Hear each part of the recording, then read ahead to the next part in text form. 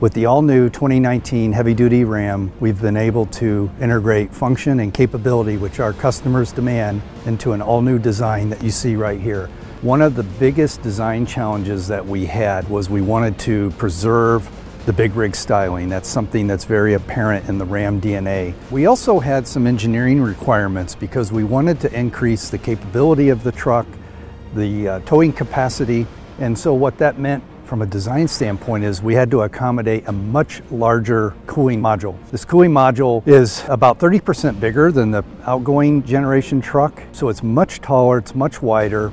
As a result, we had to really rethink the whole front end design.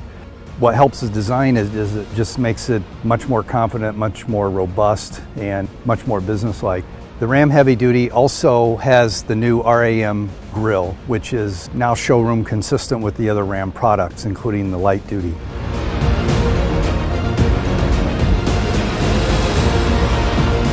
Had to redraw the new fender to match the all-new hood and the front end.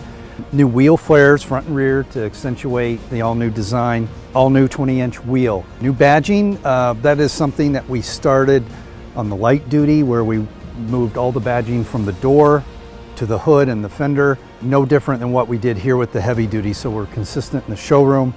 New trailer tow mirror with 360 camera, bright accents on the door handles front and rear, bright DLO molding.